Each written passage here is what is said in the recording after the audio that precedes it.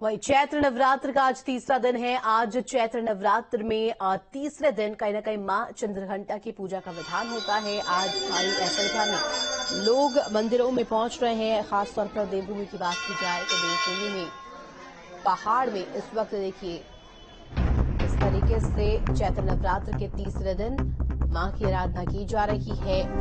मंदिरों की बात की जाए तो लंबी लंबी कतारों में यहाँ लोग पहुँच रहे हैं।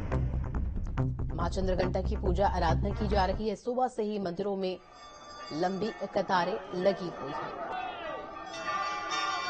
ऐसा माना जाता है कि आज के दिन जो भी शक्ति की आराधना करता है, शक्ति की साधना करता है, माँ चंद्रघंटा की पूजा करता है, उसकी जो तमाम मनोकामनाएँ हैं, उसे माँ पूर्ण करती है।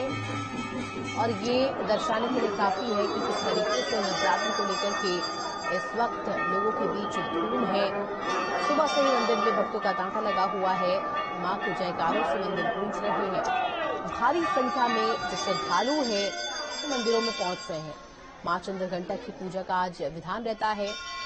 धार्मिक मान्यता है कि देवी माँ की विधि पूर्वक पूजा और व्रत करने से जो साधक है, उसके जीवन में आध्यात्मिक शक्ति मिलती है स्टेबिलिटी आती है। माँ भक्तों से प्रसन्न होकर शांति और समृद्धि प्रदान करती है। माँ चंद्रघंटा संसार में न्याय और अनुशासन डिसिप्लिन के लिए जानी जाती है और देवी पार्वती का ये विवाहित रूप है। देवों के देव महादेव से विवाह करने के बाद माँ चंद्रघंटा ने अपने माथे पर अर्धचंद्र से सजाया था माथे को और इस वजह से नाम चंद्रघंटा भी उनका पड़ा।